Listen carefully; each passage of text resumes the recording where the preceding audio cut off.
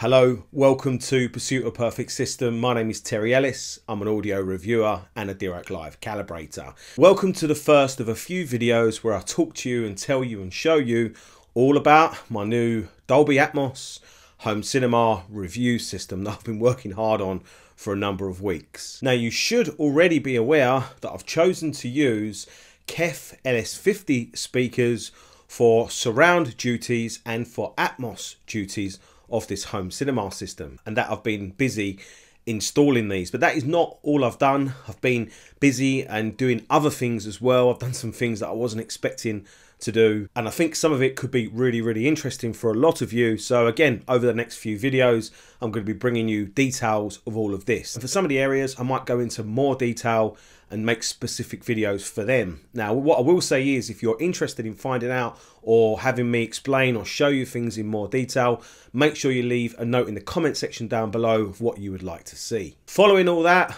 I hope to make some really good quality demonstration videos for you. Now you guys probably know I'm the king of doing sound demonstrations but when it comes to recording and filming movie content it's really very difficult to get movie content through the YouTube copyright police. Now I've got a few ideas up my sleeve that I'm going to try and I will do my best to give you some indication of what the system sounds like but please bear with me I'll do my best as I always do. I could jump right in at the end and start telling you about the KEF LS50s and what I've done with the speakers, how I've installed them, especially how I've installed them as ceiling speakers. But really the speakers, all they do is tell you everything that you've done before them. So I want to start by telling you about the system, the system components that I've chosen and the system foundation that I've put into place. One of my main goals or one of the things I wanted to accomplish with this project was to physically separate the home cinema system from the hi-fi system. Up until recently, the hi-fi and AV system shared the same rack. So it was a case of if I wanted to watch a movie, I had to start pulling hi-fi out, installing an AV receiver, connecting up all the cables and I'm an audiophile. I'm lazy. I do not want to be doing that as I'm sure you can understand. On top of that, there were so many cables everywhere. It was just pure clutter. I was really limited and out of space. I didn't know where I was going to start adding all the extra boxes that I would need to take the system to Atmos. Now, one of the problems that I have in general is that my main listening room is not very big. And I think in an ideal world, in situations like that, it would be lovely to have all your AV kit in a separate room that's air conditioned in a lovely rack because there is something pretty special about that. But I also think there's something special about having the kit in the room with you, being you know tangible and uh, something that you interact with a lot and that you can touch, that you can mess around with and you can tweak as well. And as you probably already know, you know I'm a huge tweaker. I'm just as much of a tweaker with AV as I am with hi-fi. So I was happy to have all the kit in the room with me, and it just so happened that there was a space kind of on the end of where I have the three main viewing seats that was just about the right size for a, for an AV or a hi-fi rack. That was not designed, that was just a pure stroke of luck. I've made a video several months ago called AV Rack of the Gods and in that video I introduced the AV rack that I was going to be using for this project and the rack is a Quadraspire Q4 Evo. Now what's great about this rack, well there's a few things. Its build quality is absolutely fantastic. Visually it's really nice. It's a custom rack so I was able to design it to have the exact number of shelves that I wanted at the exact height that I wanted. And I was able to choose what colour it was. And I've got to admit I really like the mixture of bamboo and black. Once the rack is down, kind of pushed spikes into the carpet and kit loaded on top of it, it's absolutely rock solid. And so far, it's been absolutely ideal for the job. Electronics, what AV components was I going to use? This is actually a really easy one for me. I already owned an Arcam AVR850 AV receiver. And as far as AV receivers go, in the sort of semi-sensible price bracket, I still don't think there's anything that touches it. It's got good quality DACs in it, pretty good build quality, Class G amplification, which actually works really well. It's got a good amount of power for an AV receiver. And most importantly for me, it's got Dirac Live built in. So the Arcam AVR 850 is staying. I also already owned an Oppo 203 UHD Blu-ray player, which about six months ago I uh, did some upgrades to it. I upgraded the power supply to a linear power supply and a couple of other bits to it, and I've been more than happy with that as a UHD player. So that is also staying. Going back to the Arcam AVR 850, it does the full processing for a Dolby Atmos system for a 7.2.4 channel system, but it only has seven built-in channels of amplification. Now I actually see this as a positive as opposed to a negative because the more amplifier channels you squeeze into a single box with everything else, I honestly believe the quality of those channels is going to suffer. So either way, it meant I was going to need an additional four channel power amplifier to power the KEF LS50s for the ceiling or height duties. Now I could have gone on a bit of a mission and started testing out all different manner of power amplifiers, but to be honest, the choice was quite an easy one. I decided to buy an Arcam P429 power amplifier. Now the P429 is a dedicated four channel power amplifier. It's also Arcam's Class G amplification. It has 90 watts of power at 8 ohms across all four channels and it obviously matches the AVR 850 from a visual point of view and it just seemed like the obvious choice and I want to thank Nintronics, the excellent hi-fi and AV dealership because that was where I bought it from and they gave me fantastic service. So between the Arcam AVR 850 and its Class G amplification and the P429 and its Class G amplification, I was pretty confident that these amplifiers were going to be powerful enough and high quality enough to get really good results from the 8 KEF LS50. But that's not really the end of the puzzle.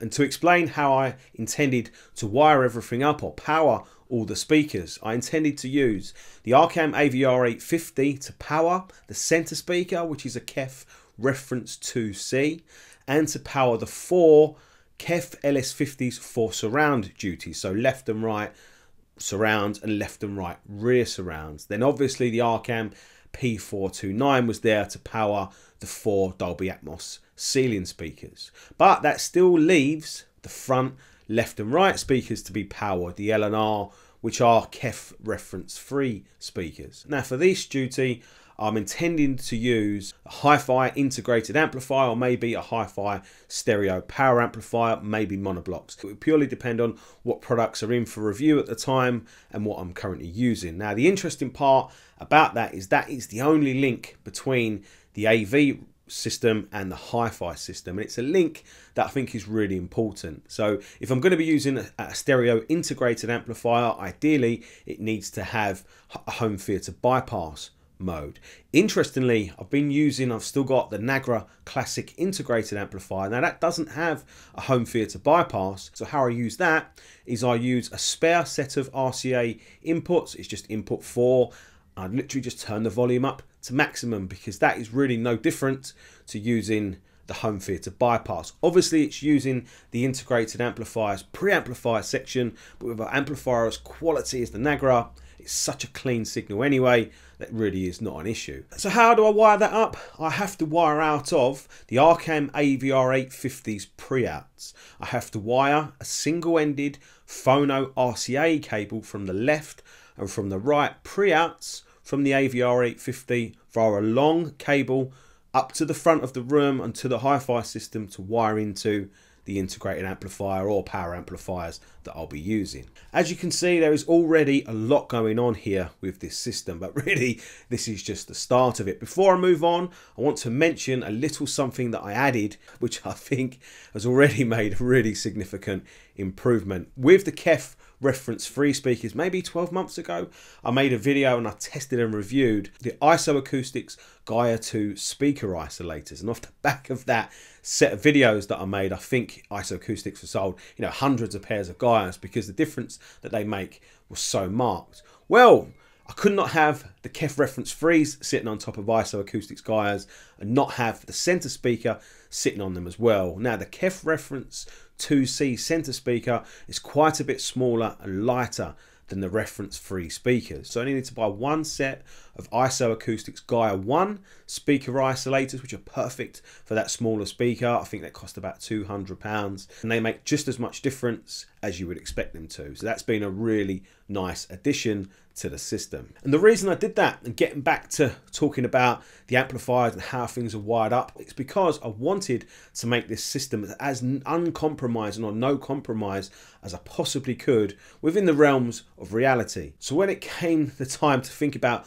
all the different wires and analog connections I was going to need, it took me about two seconds to think of the company that I was going to speak to about this. Firstly, I made a plan of what I was going to need. So I started out by buying some cheap cables off of Amazon just so that I could do some testing throughout the process and so that I could gauge exactly the length that I would need. And to be honest, everything was sounding pretty good off the Amazon cables, I must admit, but I never had any intention of keeping them long term. So once I knew what I needed and I'd measured everything, I had a chat with Tellurium Q.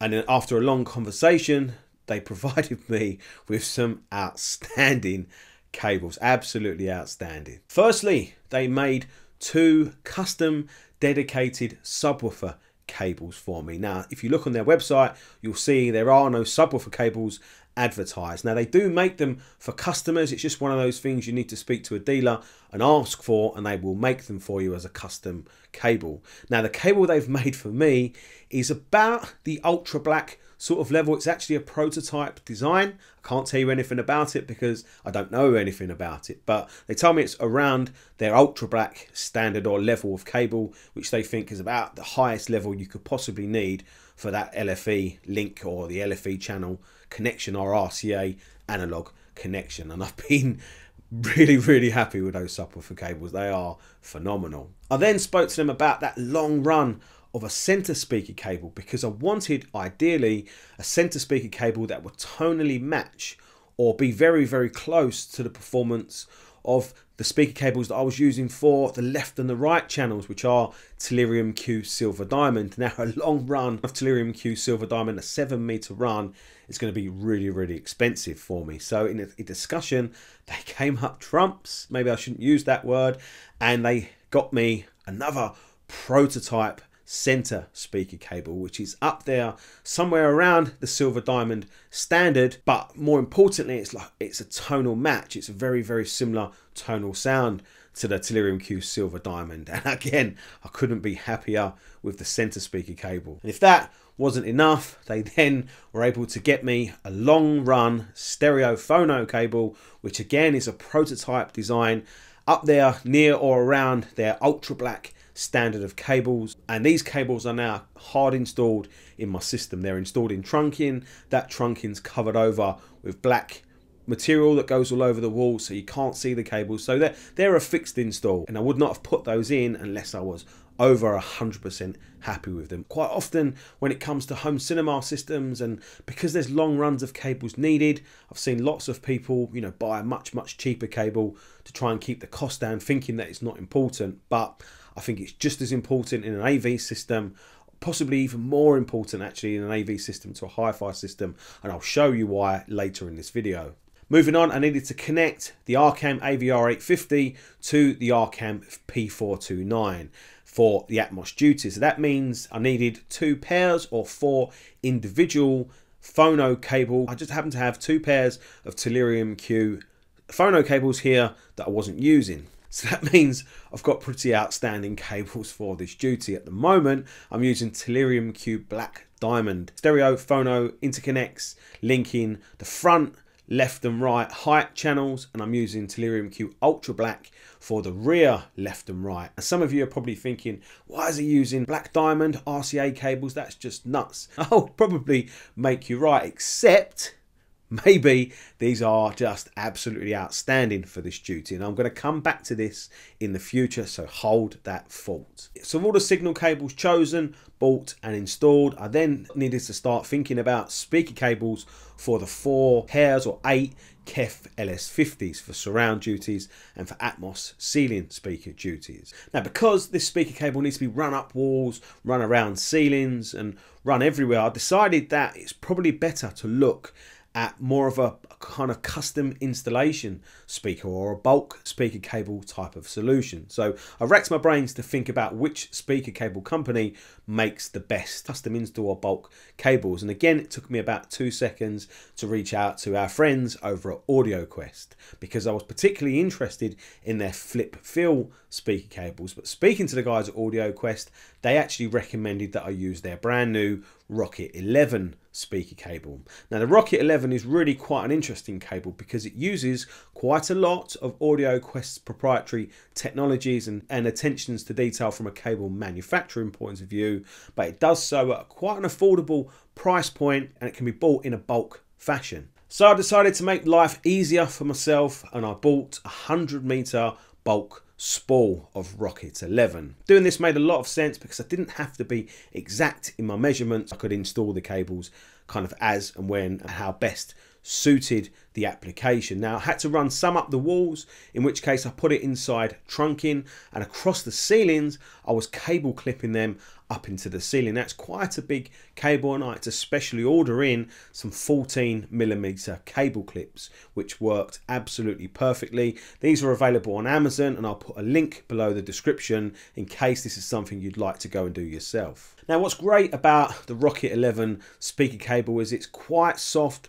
and it's quite flexible. So it makes the job of running the cable really quite easy. And it's got just a little bit of elastic elasticity if I can say the word in it. So when you're trying to straighten the cable out to put your cable clips in it seems to want to kind of line itself up for you naturally. And again, that just makes the job a hell of a lot easier. When it came time for me to think about the terminations for the Rocket 11 speaker cable, I decided I wanted to get the best or the highest quality terminations that I could that didn't break the bank. And it was a pretty obvious and easy choice to choose the AudioQuest SureGrip 300 products in the silver plated finish. Now the reason I did that is because these are made from beryllium copper. They're not made from tin or they're not made from brass or they're not made from phosphor bronze. They're made from actual copper. I haven't worked with these particular connectors before, but I've made off loads of speaker cables in my life. And the AudioQuest SureGrip 300s, lovely finish, really easy to work with, really easy to use. And I couldn't be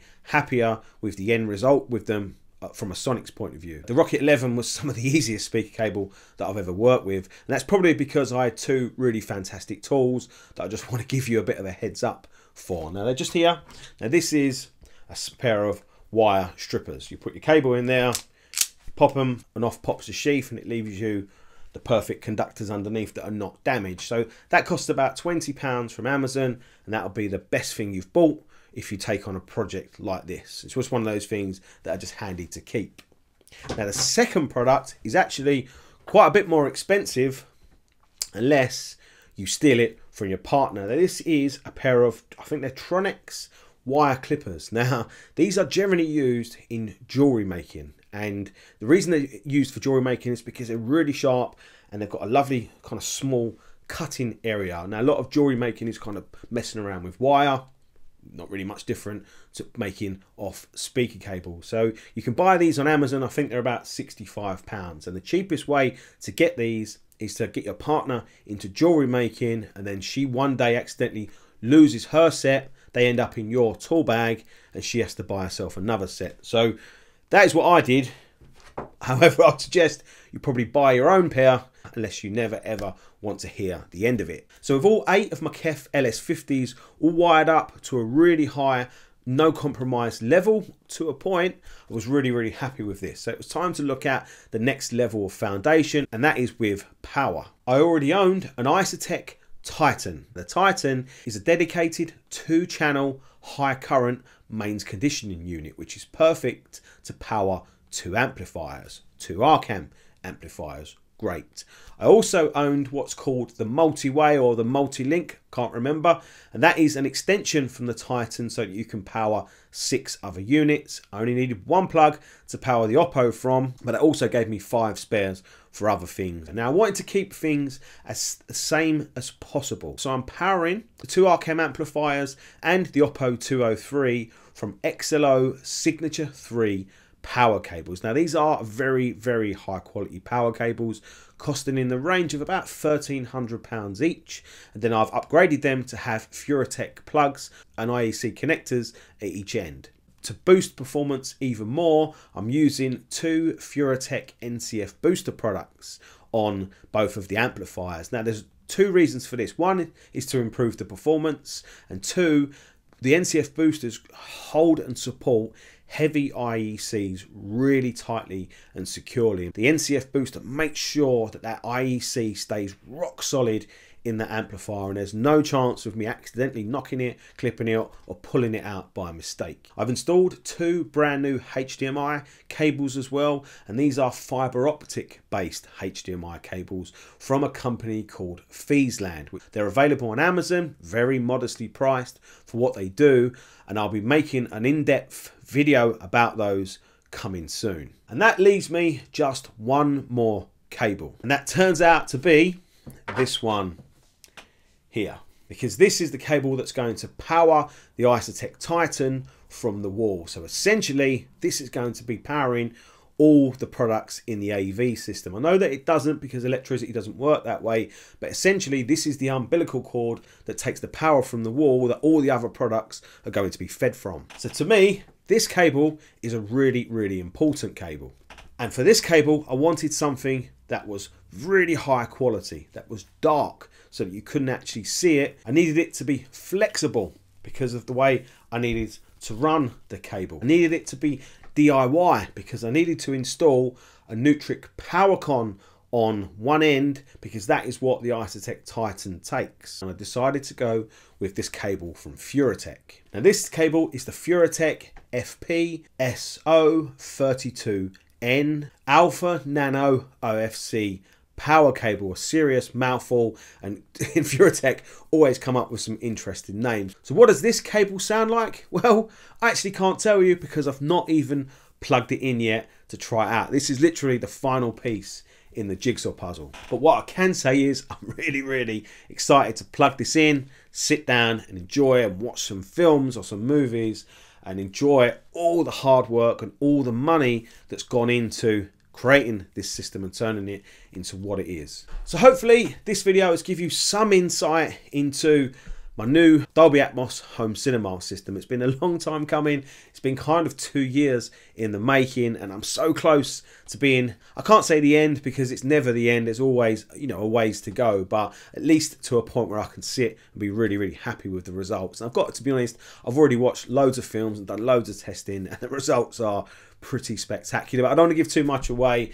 All that will be coming in future videos. Before I sign off, I just want to speak to you again about why I said having really high quality cables in an AV system is more important than a hi-fi system. If you look at the rear of the rack of my system, there is wires absolutely everywhere. Even if I tidied all those cables up, the sheer volume, the sheer number of speaker cables, signal cables, analog signal cables and power cables, all in close proximity to each other or touching each other, are all bound to have some sort of effect on each other. Higher quality the cable, the better the screening, the better the construction, the better the end result is going to be. And in the next video, I'm going to talk to you about the KEF LS50s, how I've installed them, how I've installed them on the ceiling. And again, don't forget, if there's anything that I've gone through in this video that you'd like covered in more detail or more specifically, make sure you leave a comment so I know that is what you would like to see and I'll do my best to create that for you. I really hope you've enjoyed this video. If you did, make sure to leave a thumbs up and hit that subscribe button with the notification bell to make sure you get the next one when it drops. Pinching that from Youthman. Make sure to go and visit the website. There's always development work and hot news being added to that. And I'll be seeing you in the next video. Thanks for watching. I know this is a long one. Thanks for staying with me to the end. Take care.